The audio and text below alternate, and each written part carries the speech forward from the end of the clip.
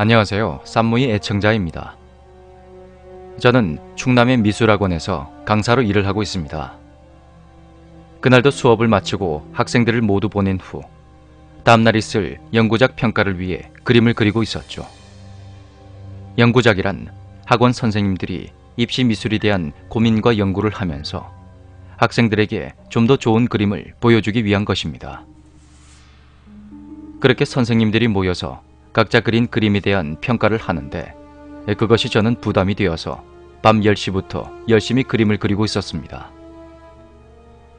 학원 근처에는 강이 흐르고 있는데 그래서 그런지 밤만 되면 안개가 굉장히 심하게 낍니다. 그날도 역시 안개가 시야를 가리고 있었고 학원은 주변의 아파트 단지와 다른 건물로 막혀 있어서 참으로 고요했습니다. 자장이 넘은 그 시간에 학원 교실에 있는 불 하나만 켜놓고 홀로 그림을 그리고 있자니 조금 심심하기도 하고 무섭기도 하더군요. 전 친한 친구 A에게 전화를 걸어서 스피커폰을 켜두고 통화를 하고 있었습니다. 이런저런 이야기를 하며 신세 한탄을 하고 있는데 A가 갑자기 이런 말을 하는 겁니다. 야, 근데 너 학원생이랑 같이 있으면서 왜 스피커폰으로 통화하냐? 응? 뭔 소리고?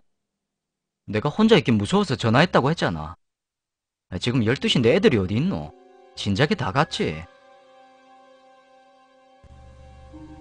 A의 말에 소름이 끼쳤던 저는 조금 짜증을 냈고 제 말에 A는 정말 혼자 있는 것이 맞냐고 계속해서 되물었습니다.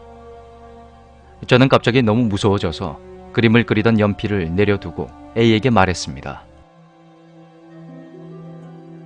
야, 그럼 애들 다 있는데 니랑 이렇게 전화하겠나? 아, 무섭게 자꾸 왜 그러는데? 장난치지 마라. 야, 니 지금 당장 나가서 불 다 켜고 누구 있나 봐봐라. 빨리. 그런 다급한 A의 말에 저는 학원 로비와 다른 교실까지 모든 불을 켜고 학원 안을 둘러봤습니다. 아무도 없다니까. 아니 자꾸 왜 그러는데? 아까 말 잠깐 끊겼을 때 네 옆에서 분명히 목소리 들렸는데 어떤 여자애가 목소리 쫙 깔고는 아저씨, 여기서 뭐해요? 이건 뭐예요? 분명히 그렇게 말하는 거 들었는데 난 그래서 아직 학생 있는 줄 알고 왜 스피커폰으로 하냐고 했던 거다. 어? 야, 니 지금 당장 문 닫고 버뜩 집에 가라. 장난 그만해라. 내 이거 다 해야 갈 수 있다. 내 혼자 있으니까 무서우라고 그러는 거지 지금. 아 제발 집에 좀 가라고. 집에 안 갈 거면 학원 주소라도 불러라. 통화 끊기거나 하면 바로 신고할게. 아, 그냥 고집 부리지 말고 집으로 가라니까. 진짜 무슨 목소리 들었다고. 그렇게 A는 거의 애원하다시피 말했고 저는 일단 그림을 마무리하기 위해 연필 쪽으로 손을 뻗었습니다. 그런데 그 순간 온몸에 소름이 쫙 돋는 것입니다. 그림의 오른쪽 편에 둔 그 연필이 없어졌기 때문입니다. 전 그대로 짐을 싸서 학원 문을 닫고 A와 통화를 하며 집으로 돌아왔습니다. 그날은 쌈무인인 방송도 못 듣고 너무 무서워서 바로 잠을 잤죠. 다행히도 연구작 평가를 무사히 마치고 전 그 일을 잊고 잘 지내고 있었습니다. 그 사이 A는 하루에 한 번씩 저에게 안부 전화까지 했습니다. 수업 도중에 학생들에게 그날의 일을 이야기해주면 녀석들은 저를 비웃는 듯 깔깔대며 재밌어 했죠.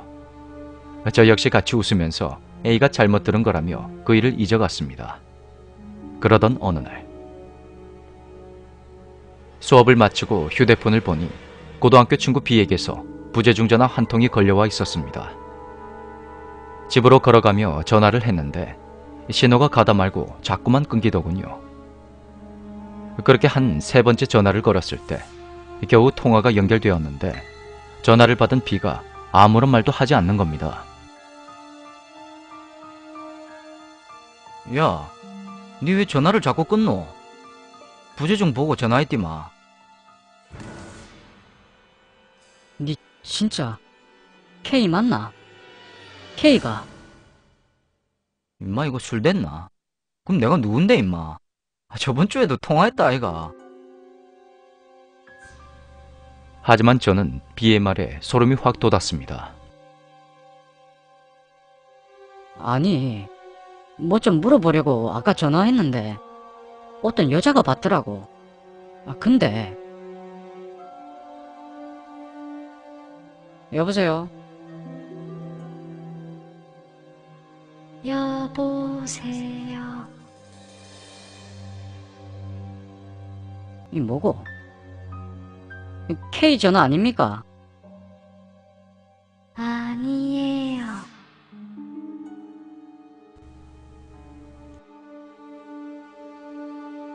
아니 이러더만 전화를 딱 끊어버리더라고. 다시 전화해보니까 안 받길래 다른 친구한테 네 번호 맞냐고 확인까지 했다. 와 순간 소름이 확 돋는데 무서워서 네 전화 왔을 때 안 받았다 이가. 야 그 여자 뭐고? 통화 내역을 확인해 보니 B의 부재중 전화 한 통만이 남아있고 제가 B에게 전화를 건 내역은 없더군요. 어떤 여자의 낮고 느린 목소리. 그것은 A가 저와 통화하며 들었던 그 목소리와 비슷한 느낌이었습니다. 그 이후로 저는 너무 무서워서 수업이 끝이 나면 바로 집으로 돌아갔습니다. 한 번도 12시가 넘도록 학원에 남아있던 적이 없었죠. 그리고 그 일이 있었던 한 달 동안 제 주머니에 구멍이라도 뚫린 듯이 돈 나가는 일이 자꾸만 생겼습니다. 키우던 강아지 다리가 갑자기 부러져서 수술비로 100만원. 렌트카를 주차하다가 뭔가에 이끌리듯 벽에 부딪히는 바람에 수리비로 50만원이 훅 빠져나갔죠. 게다가 문자가 지워져서 예비군 훈련에 참가하지 못해서 30만원 정도의 벌금도 내야 했습니다. 평소 이런 쪽으로 감이 좋은 친구에게 이 일을 이야기하니 귀신이 저를 따라다녀서 안 좋은 일이 계속 생긴 거라 하더군요. 한 달이 지난 후로는 일에 집중하며 그 일을 많이 잊어버렸지만 전 아직까지도 12시 이후엔 학원에 있질 않습니다. 그 귀신이 저를 또다시 따라올지도 모르니까요. 귀신의 목소리를 직접 들었던 A는 아직도 그 이야기를 꺼내면 짜증을 내면서 전화를 끊어버립니다.